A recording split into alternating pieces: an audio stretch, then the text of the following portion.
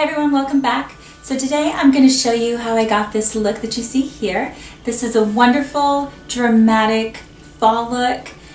Beautiful eye colors, fall colors, lots of oranges and browns and some reds mixed in. So I want to do something fun for fall and something that you can wear on a night out. Super glam, super dramatic, and I absolutely love the way that this came out. And I also wanted to tell you guys about this necklace that I'm wearing here. I will leave a code in the description box below for 20% off. This is a beautiful necklace from Mirina Collections. They have a lot of statement pieces and some of them are, you know, you know, kind of more classic like this. They also have different kinds. They have a bunch that are a lot more dramatic. They have some that are just, you know, chokers. They have beautiful beautiful statement pieces.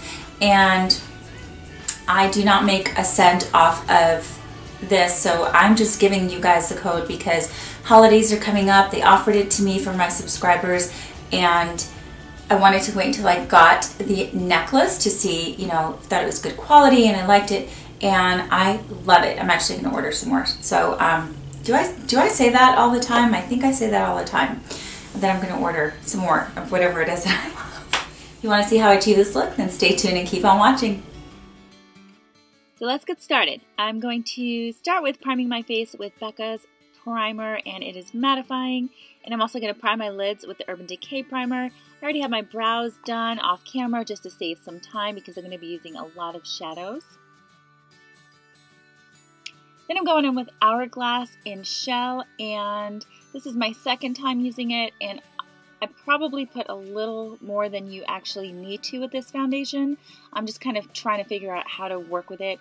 Um, this is a beautiful, beautiful foundation. It's very pigmented, so probably didn't need that much product, but it worked out. It blended beautifully. Then going in with Shape Tape from Tarte. This is in the color Light. And as you can see, I'm doing the triangular shape, but not going down as far because this is a really full coverage concealer and I've noticed when I put it on as I typically do with other concealers, it's just way too much product. So you don't have to use as much with this one. It's really nice. And it is um, easily blendable. It covers everything, blends like a dream. So I use it pretty much all the time.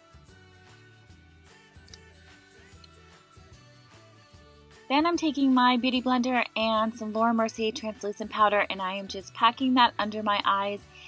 And the reason I'm doing that is because I'm going to be using a lot of shadows and in case there's any fallout, I can just kind of swipe that away later. It'll also help to set the concealer. Then I'm taking MAC's Mineralized Skin Finish and setting the rest of my foundation.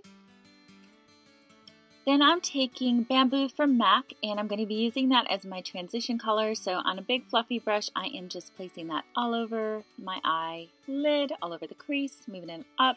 Taking that beautiful orangey color from the Nubian palette, I'm going to be packing that onto my outer V with the MAC 217 brush and then I'm going to be blending it inward in the crease and a little bit above the crease.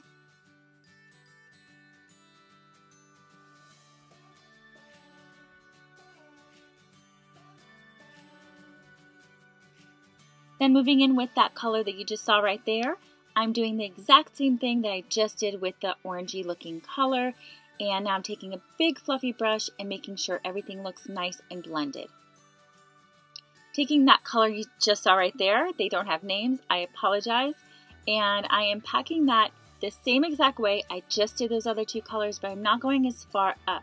So I'm putting it on the outer V and I'm going to be blending it inward but keeping most of the pigment on the outer portion of the eye and blending it upward and outward.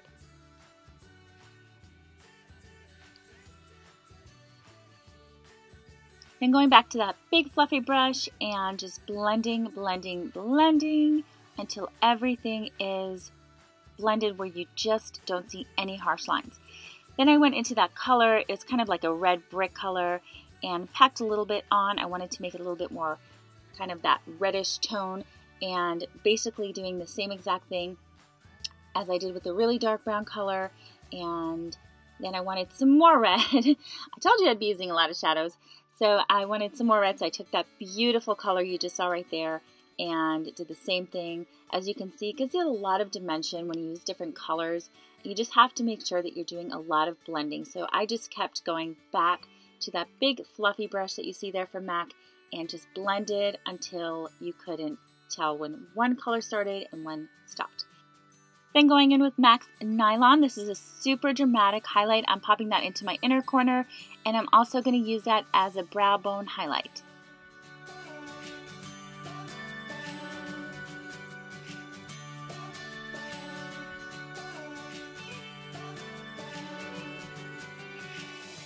Moving on to the lid, I'm going to spray a flat shader brush with some MAC Fix Plus and I'm going into that beautiful color that you see there, that bronzy orangey color, and I'm going to place that all over my lid.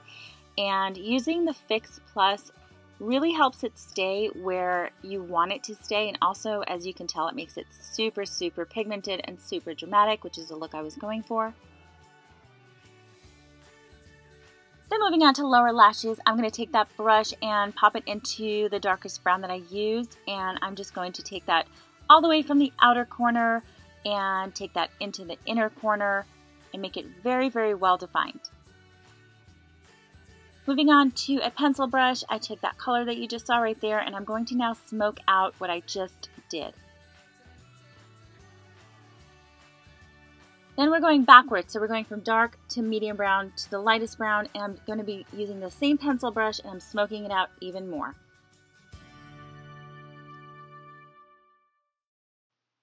Then I'm going to take the tip of that brush that I use on my lid and I'm going to take that same color and just put a tiny bit of that right smack dab in the middle of my lower lash line.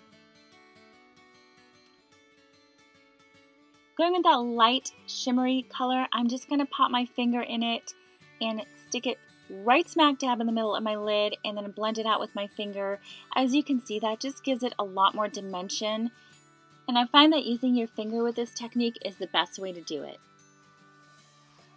Then I'm taking that same color that you just saw me use my finger and I'm putting it right dab smack in the middle of the other shimmery bronze color on my lower lash line. Going back in with the big fluffy brush and just blending it all out. Moving on to liner, I'm going to tight line and pop some black gel liner from Marc Jacobs into my lower waterline. This definitely makes your eyes look more dramatic.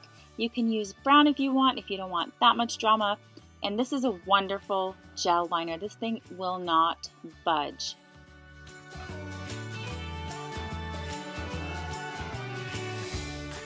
Curling my lashes and then I'm going to take a fluffy brush and swipe away any of the excess powder that I had on from before. Putting on a coat of Benefit's Real Mascara and I'm going to put some individual falsies off camera and I just put a few on the outer portion of my eye to give it a cat eye effect. And then I'm going in with that color you see there and just doing a little bit of contouring. Switched up my brush, same color, and I'm contouring my forehead by the hairline, typical places, under the cheekbone, jawline, all the typical places. And just doing a really good job to make sure that that's nice and blended out. Going in with MAC's Care Blend Powder, this is in dark. I'm going to use that as my bronzer today.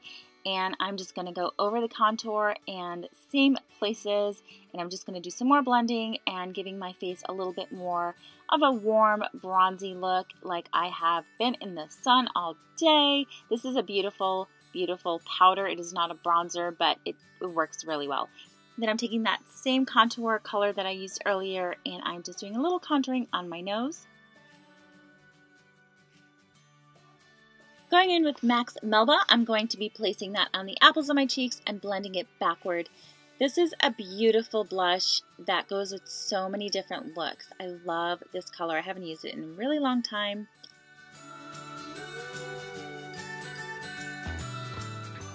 Then I took just a touch of Milani's Luminoso and popped that over Melba and then I picked up some Champagne Pop and put my highlight on. So a little bit on my cheekbones right there and on the tip of my nose and on my cupid's bow. Then going in with Spice Lip Liner from MAC, I'm going to be lining my lips. And this combo you're going to see here is my favorite these days. And I'm using MAC's Viva Glam 2 as lipstick.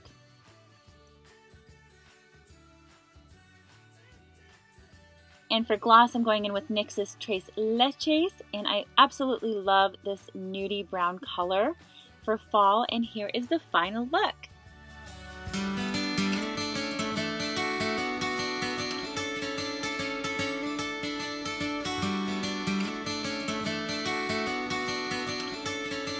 Alright you guys, so this is the final look. So I hope you enjoyed this tutorial and that you learned something as always. And I will see you guys in my next one. Bye guys.